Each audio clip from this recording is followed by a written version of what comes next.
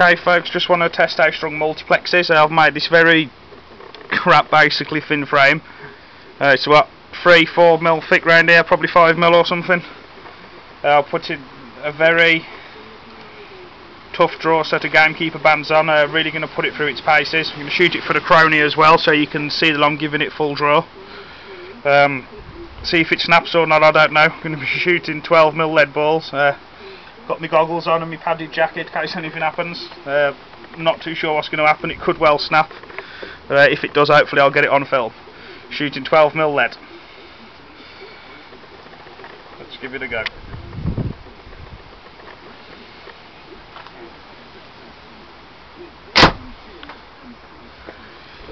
Okay.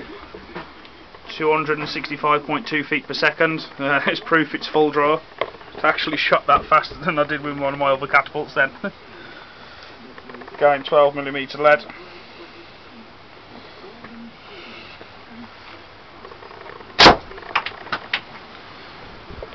Two hundred and sixty-two point three. Uh, just get a marble off the floor now.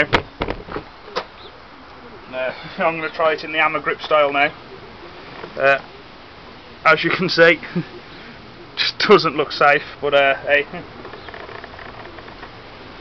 Look at the strength of that, I can really give that some. Oh, never registered in the crowd now, just try another one. Just grab a marble. As you can see, hammer grip, really thin forks, very powerful bands. 272 feet per second. Great stuff. So there you go.